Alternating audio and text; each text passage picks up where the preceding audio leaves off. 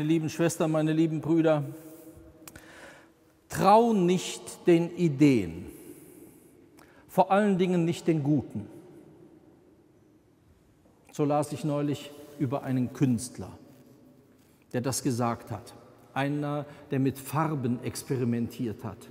Trau nicht den Ideen, vor allen Dingen nicht den Guten. Als ich das las, gingen meine Gedanken zu diesem Evangelium hin, zu dem ganzen Drama, das hier geschildert ist, zu dem, was wir jetzt in der dritten Weihnachtsmesse an Texten beten, wo es immer darum geht, um die Würde des Menschen, dass etwas wiederhergestellt werden muss, dass etwas verloren gegangen ist, dass es an, ein aneinander vorbei gibt von Gott und Mensch. Und ich dachte, war das vom lieben Gott eine gute Idee mit dem Menschen? Ist das nicht gründlich schiefgegangen?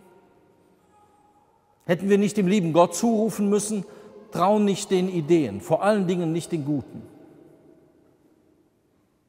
Ein ganzer Reinfall. Man könnte das so sehen, aber Gott wäre eben nicht Gott. Denn am Anfang ist nicht eine Idee. Am Anfang hören wir heute mit dem Beginn dieses großartigen Liedes am Johannesevangelium. Am Anfang ist nicht eine Idee, am Anfang ist nicht eine Tat, am Anfang ist der Logos. Wir sagen im Deutschen ein bisschen zu simpel das Wort.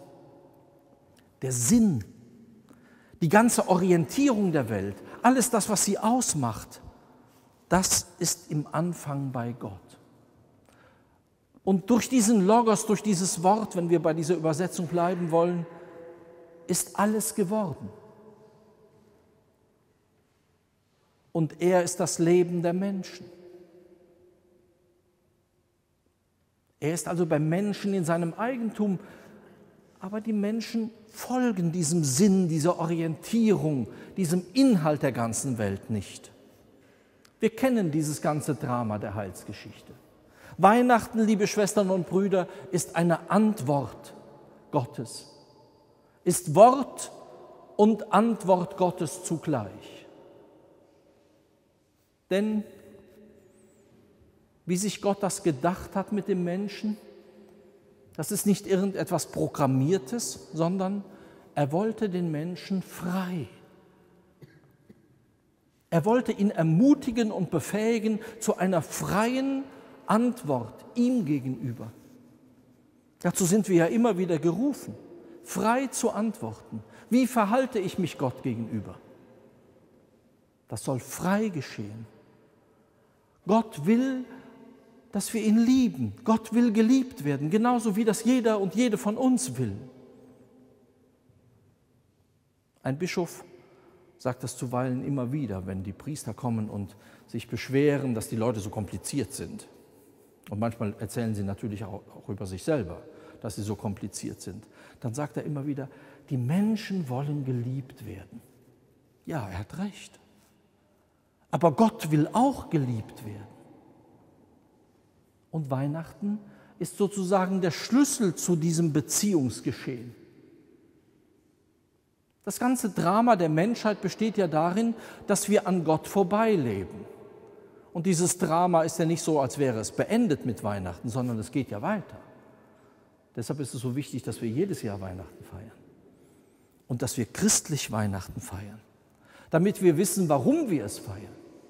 Warum so viel von Erlösung die Rede ist, von Wiederherstellung der Würde des Menschen, die er eben verliert ohne Gott. Er ist sich dessen nicht mehr bewusst. Dann wird eben Leben manipuliert. Oder manches wird zum Leben erklärt und manches nicht mehr. Dann kann man sein Leben noch wegwerfen. Oder wir entscheiden, dass manche gar nicht leben dürfen. Das ist ein bisschen simpel. Das ist ein Entwurf ohne Gott. Das sind Ideen, die man hat. Vielleicht sogar unter ökonomischen Gesichtspunkten gute Ideen. Es gibt doch sowieso viel zu viele Menschen auf der Erde. Also da müssen wir ein bisschen rationalisieren. Das ist doch gar keine schlechte Idee. Es sind eben Ideen. Und andere, liebe Schwestern und Brüder, zahlen mit dem Leben für diese Ideen. Bei Gott ist nicht einfach eine Idee. Bei Gott ist Sinn, Orientierung. Und wenn wir dies annehmen, verstehen wir vielleicht den Satz besser, der der Mittelpunkt des Weihnachtsfestes ist. Und das Wort ist Fleisch geworden. Also sowas wie wir. Kneifen Sie sich einmal kurz, damit Sie das spüren, was das ist. Damit Sie erfahren, was Gott tut und das Wort ist Fleisch geworden. Man kann daraus einen andachtsvollen Satz machen. Man kann dabei sogar im Advent und in der Weihnachtszeit sein Knie beugen und es trotzdem nicht verstehen. Das Wort ist Fleisch geworden. Der Sinn Gottes, die Orientierung Gottes, der tiefste Zielpunkt alles dessen, was das Ganze soll, die Schöpfung, der Mensch, diese Erde im Universum. Das ist nicht über uns hinweg irgendetwas uns aufgesetztes, aufgezwungenes, sondern wird wie wir, wird Fleisch in Jesus, in diesem Kind von Bethlehem, an einem unscheinbaren Ort im hintersten Winkel der Welt, in einem Volk, mit dem Gott seine Geschichte beginnt, um allen anderen zu zeigen, wie das gehen kann und wie schwierig das ist, das Leben mit Gott, den Sinn mit Gott zu übersetzen, zu leben, sich danach zu richten. Wir wissen das und die Heilige Schrift sagt es oft genug, die Propheten rufen es uns in Erinnerung. Israel scheitert oft und oft daran. Das Gesetz ist durch Mose gegeben. Gnade und Wahrheit kommen durch Jesus Christus. Nicht am Gesetz vorbei, nicht über Israel hinweg, sondern durch Israel hindurch. Wie es Jesus einmal der Samariterin am Jakobsbrunnen sagt, das Heil kommt von den Juden. Deshalb sehen wir in der Krippe ein jüdisches Kind. Ein Kind aus dem auserwählten Volk. Deshalb nennen wir seine Mutter die Tochter Zion. Maria. Sie, die ganz das Wort aufnimmt, die es hört, die ganz aufgeschlossen ist, ohne Hindernis für diesen Sinn der Welt, der von Gott kommt, der nicht selber gebastelt ist, irgendeine fixe Idee. Deshalb ist Christentum immer konkret. Das Wort ist Fleisch geworden. Christentum ist immer konkret wenn Christentum zu einer fixen Idee wird, gleich ob wir die rechts oder links einordnen, dann ist Christentum nichts mehr. Gott, liebe Schwestern und Brüder, wird Fleisch. Wir feiern das an Weihnachten.